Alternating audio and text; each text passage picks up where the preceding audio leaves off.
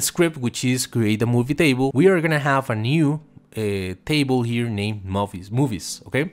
With the structure that we defined, for example, title. I wanted to check that all the movies that I inserted were working fine. You can see that uh, I'm doing that and the yielded object is gonna return an array of objects. And you can see that all of that is working fine over here after the select from movies. You probably know sometimes you, we need to set up a database with some, uh, well, actually kind of hard-coded data in order to perform uh, some kind of tests, right?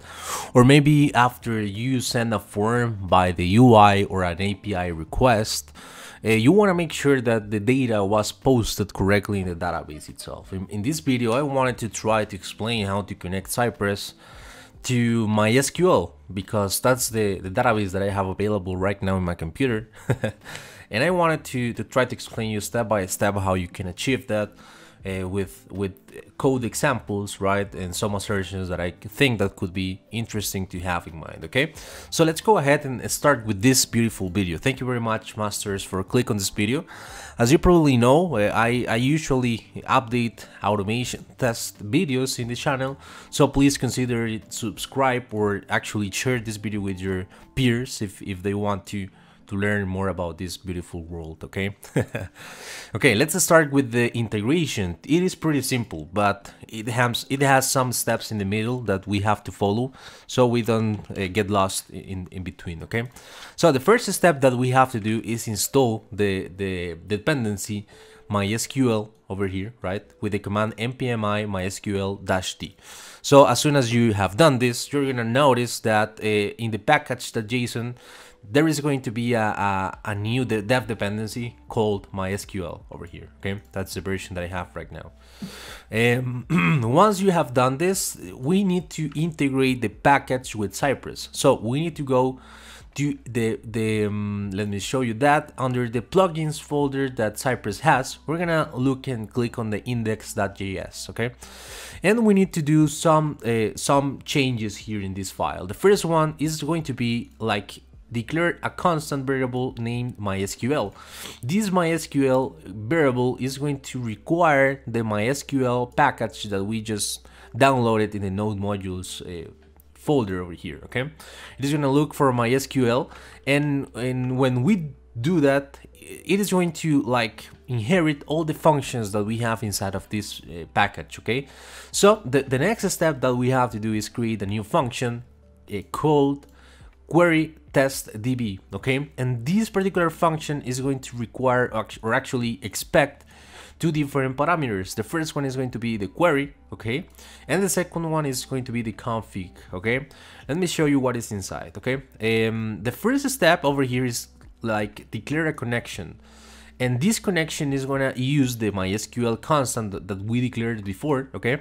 And we're going to be creating a connection and it is going to receive a configuration. What it, what it is and how we can change the configuration because right now I, I don't know what is the database. I don't know what is the the table that I need to uh, actually select right?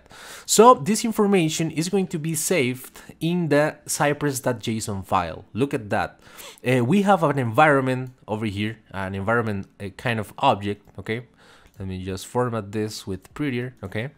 And uh, we're gonna have under environment a DB object here with different parameters. Let me show you that. We have a host key and the value localhost. And the reason of why is because I have a phpMyAdmin running in my localhost right now, okay? And uh, well, right now you can see that I have a database named Cypress Test, okay? And I have declared an, a, a, actually an, a key over here named database, okay? And the name is going to be Cypress Test because that's the, the database that I want to use to create tables, insert data, and so on, okay? Uh, once I have declared the local host, or actually the host and the database, we also need to uh, set the user and the password. The user is going to be root. That's the, the default user that, that we have in phpMyAdmin. And the password is going to be empty in this case. Of course, you need to change this with your project parameters, okay? With your database, okay? That's important. Once I have done this, let me go back to my index.js and, and check that the config is going to be looking for the environment variable, okay?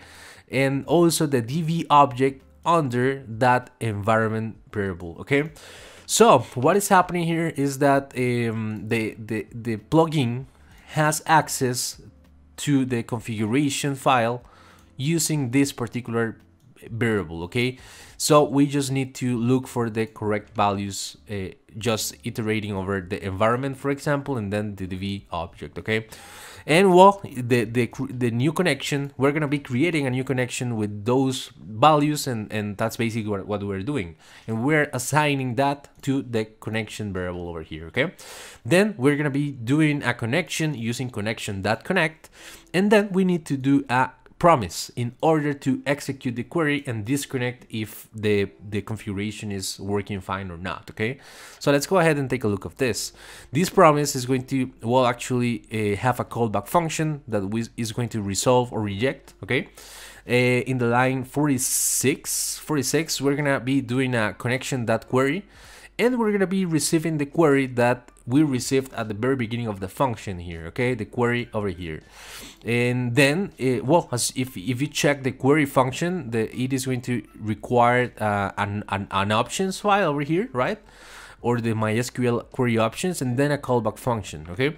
And as you can see well uh, in case it, uh, the, the callback function is an error so we're gonna be rejecting that with an error but if if it is not an error of course it is, is it means that the connection was working fine and the query returned data. So we're gonna be uh, closing the connection because that's important right? And then we're gonna be resolving uh, returning the results with this particular part of the code over here okay? Well now that we understand the query test db we need to uh, integrate or well look for a way to cypress um, to cypress to understand that we need to perform a query so we need to do this over here. We need to do a module exports, okay? And we're gonna be creating a task. What is a task in Cypress? Well, a task in Cypress is usable to execute code in Node via the task plugin event, okay? Um, let me show you this usage example that we have in, in, the, in the documentation. Uh, it is saying that uh, if we want to do a cy.task, okay, that log information in the terminal, okay, we need to need, we I'm sorry, we need to enter the, the task name, okay, and then the, the terminal message that we want to, to send. However, we need to create this in the plugins file. We need to create the log or, or maybe the, the, the name of the task over here and inside of the log we're gonna be receiving the parameters okay? In this case it's going to be the message. And inside of this uh, um, task we're gonna be just uh, using console log to enter the message over here okay? So that's a, a, kind of simple example of, of cy.task but now let's understand how we can do this in in in our example with with databases okay? Well we need to declare the name of the task over here, which in this case is gonna be query db, okay? And we're gonna be sending or actually receiving the query over here, okay? And well, as soon as uh, we're declaring this correctly, we're gonna be returning the query testdb function result that we have inside of this, okay? So notice that we're gonna be sending the query and we're gonna be sending the config, okay? But let me show you how you can call the cy.task querydb because that could be uh, something that we haven't checked uh, right now, right? So let, let me show you this. I'm gonna fold all this uh, code over here. And for example, to create a new database, we're gonna be doing a cy.task, okay? The name of the task is gonna be querydb. And you can see that here we're sending the query as parameter, okay? So let's take a look of the index again. We're sending or actually calling the task query DB. We're receiving the query and now I'm gonna be returning the data from the query test DB that is going to be receiving the query and the configuration that is inbuilt by the Cypress environment file, okay? So that's it. I know that that could be a kind of tricky explanation, but that's how it works under the hood, okay? Now let's take a look how simple it is to implement a query over here. We just have to, well, call the querydb task. And for example, if we want to create a table with a called or named movies, okay? And we have a title uh, with varchar, we have a genre, okay? we have a director, and we have a release year for every single row. And my primary my, my primary key is going to be title, okay? I'm gonna come here, I'm gonna be only executing this it, and you're gonna notice that it is gonna be well actually working fine, okay? Let me just open the, the terminal and execute the Cypress test runner. I'm sorry. And you're gonna see that when I execute the script database testing or DB testing, uh, well, the first script, which is create a movie table, and we are creating the table movies and and so on. You're gonna notice that when I open my my my database, we are gonna have a new uh, table here named movies. Movies, okay, with the structure that we define. For example, title. We have defined that in the in the create query over here, right? Let me show you that. Create table, okay movies with the title okay? For example and title was the primary key. Well it is the primary key here. That's important too. And so on. That that's all the information that we needed right? So let's continue with how to select update and drop the date the, the table at the end of the of the life cycle right? Of this script in particular. So let's go. Let's continue with this. It's funny right? I hope that you're enjoying this. I know it could be overwhelming a bit but I hope that you can hit the like button if you're still looking at this video because I'm having fun. I hope that you're having fun too. we are kind of weirdos, right? But we're having fun. Let's continue with insert to movies, okay? That's it. Uh, the okay, I, I have done something wrong here. Let me reload this because of course this is gonna represent an issue, but there it is. Um, every time I save the changes, the, the test runner is going to re-execute everything again. Check that. I, I know, I, I, have explained that before. We need to change something in the cypress.json, but right now I'm going to leave it as, as it is, okay? Let's continue with the insertion of data. Uh, I'm going to be inserting two movies in the table that I just created. And well, I'm gonna be inserting the values for Joker and the, the values for the Batman, the, the last movie of Batman that was in the in the theaters okay? And you're gonna notice that um oh I, I i missed something from from the last from the last explanation. And it is important to mention that every single time that we perform a task okay it is gonna return a yielded object. That yielded object is basically the response that we're gonna be having after sending some kind of task to node okay in this case you can notice that uh, we are receiving like the affected rows, the changed rows, the field count, the insert ID, the message, and so on. But uh, in this case, I think that there is nothing uh, or much to assert, right? Because we don't have like representational data about the, the creation of the of the table itself. But I wanted to check that the message over here is empty, just in case it, we can capture an error over here. So I just did uh, I used the then command to get the result or maybe the yielded object, okay? And I'm gonna be checking that the message expect to equal empty. And you can see that basically the assertion is working fine over here, okay? But now let's continue with insert, insert to movies. Uh, well, as I was telling you, I'm gonna be inserting into movies to movies over here, the Batman and Joker. And you can see that uh, when I do that, uh, well, the yielded object is going to have affected rows equal to, okay? And also the message here is records to duplicate 0 and warning 0. In this case, I decided to uh, assert those values, the rows affection, number 2, and also the message to be equal to records to that there was no duplications and the warnings was, was 0, okay? So it is working fine. You can see the assertions over here working as expected. And then uh, I wanted to check that all the movies that I inserted were working fine, that were posted correctly. So let me show you this. Uh, uh what I did was basically a query DB, which where, where I'm going to be selecting all the data from movies, okay? You can see that uh, I'm doing that, and the yielded object is going to return an array of objects, and in this case I have two, of course. The, the first or the zero part of this array is, is going to be the Joker, and the second one or the first position of the array is going to be the Batman. So I just decided to uh, create two cy.logs to identify the rows, okay?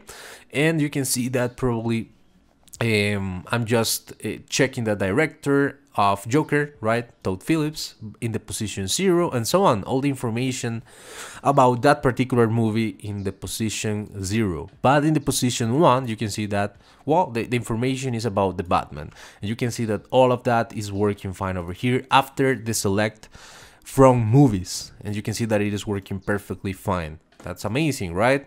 Let's continue with the update. Maybe we can update a movie and check that it is working fine. So I decided to create a cy.task to update movies and set the genre of the of the movie Joker to test genre, okay?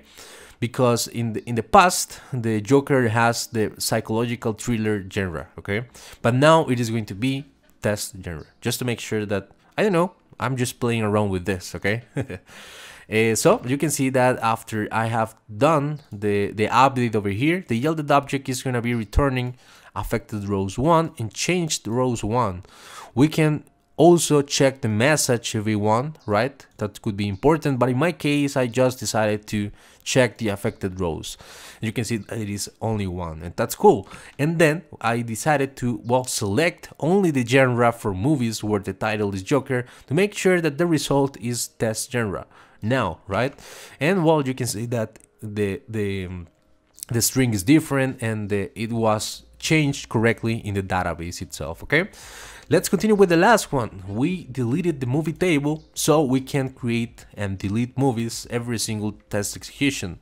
You can see that I just did a drop tables movies and the yielded object uh, again doesn't display any information relevant from my point of view, right? So I decided to check the message to, to be empty, basically, to be equal to empty.